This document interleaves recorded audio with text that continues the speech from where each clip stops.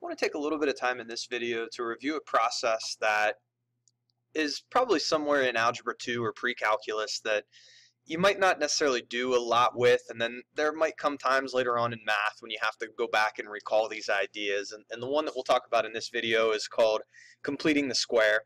And the example that I want to kind of refer to here to, hopefully convince you that this is a, a, legitimate process is this equation right here. So if we want to try to solve this equation, one thing that we could do is we could try to use the quadratic formula. We could try to subtract 11 from that side, go ahead and try to use the quadratic formula.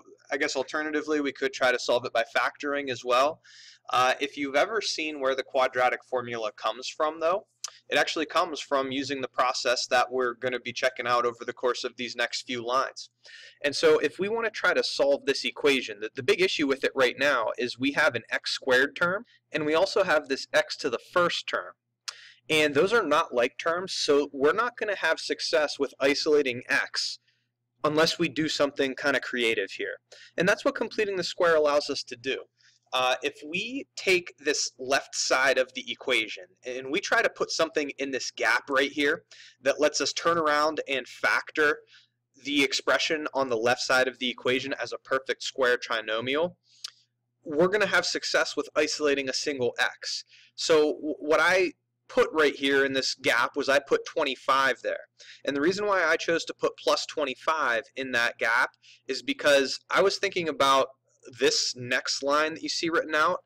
And if I put a plus 25 right here and I try to factor, I'm going to have x plus 5 times x plus 5 is what I FOIL out to get to this expression.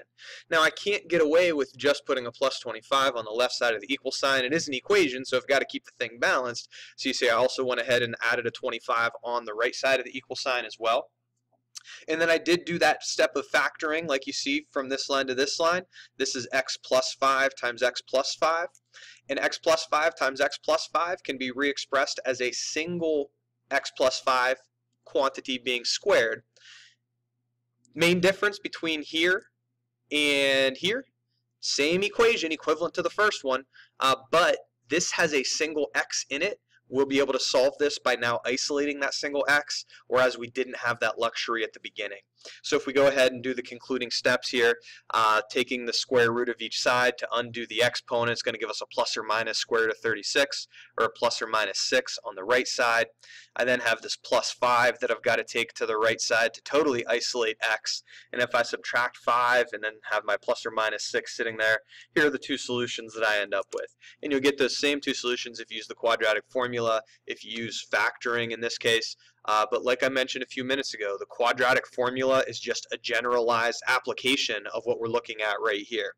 So let's kind of look at some geometry that's associated with this idea because we don't really want to have to rely on guess and check basically to try to figure out what to put in this empty spot to allow us to turn around and factor what we have on the new line as a perfect square trinomial. And so if we take a look at these two figures and adding their areas together, this is an x by x square and this is a b by x rectangle. So the total area enclosed by these two figures is x squared plus bx. Now if I cut this rectangle in half vertically right here and then spin one of these sides and kind of put it down along the, the bottom edge of the square that we started with, uh, the total area enclosed by this square and these two rectangles, which is just, again, the splitting up of this b by x rectangle on the left side diagram, it's going to be the same.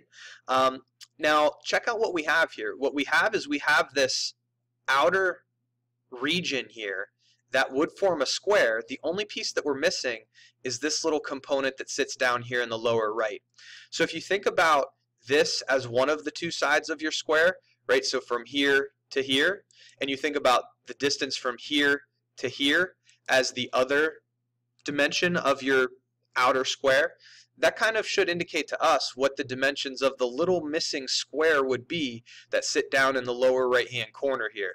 Uh, this total distance is x plus b over 2 right? We, we had b units here, but then we cut that into half into two halves. So we have x plus b over 2 there. We have x plus b over 2 across the top here. So what are the dimensions of this little square that sits in the lower right hand corner to complete the square. We're going to have to add a, a square whose dimensions are b over 2 by b over 2. So the area of the square that you see right here that's in green is b over 2 times b over 2 or b over 2 squared. So geometrically this might kind of help you see what we're going to talk about on the next screen. Uh, what we want to basically be able to do is we want to be able to complete the square anytime we have a quadratic expression sitting in front of us. And this is going to help us do some integrals over the next few weeks. Um, might be used for you eventually to, to graph some shapes by hand. Uh, conic sections would be graphed with this method, parabolas, hyperbolas, ellipses, circles, things like that that I'm sure some of you have done a little bit with in the past, but some of you will probably do quite a bit more with in the future. But this is the generalized formula for completing the square. If you have x squared plus bx, right, th that was the dimensions of the x by x square and then the b by x rectangle when we found the area of each and added them together. We're starting with these two pieces basically, if, if we're thinking about it as an area calculation. What did we have to add to this sum in order to create something that was a perfect square? What we had to add to it was the area of that little square that fills in the lower right hand corner here, b over 2 being squared.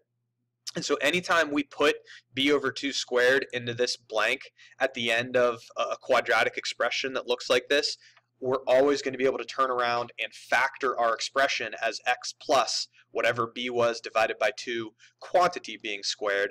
And that's definitely what happened to us in, in the specific application of this back here. So I kind of did this first one by guess and check. I put a plus 25 there. Well, check out how it factored. It factored to x plus b over 2 times x plus b over 2, which was x plus b over 2, 5 squared. So if we want to just kind of practice this one more time, and then I'll do some videos that actually involve this within some integrals, uh, we can check out this expression down here. What value would we have to replace c with in order to have this expression factor as a perfect square trinomial? Well, b is negative 24.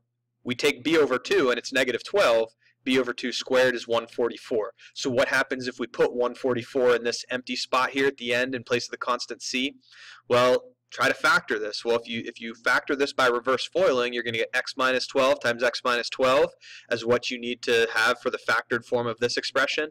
And x minus 12 times x minus 12 is, of course, x minus 12 quantity squared.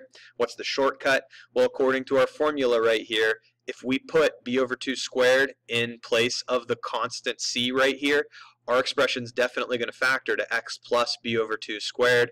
We'll check out what b over 2 was. b over 2 was negative 12, and that's exactly what we got, x plus negative 12 squared, or x minus 12 quantity squared.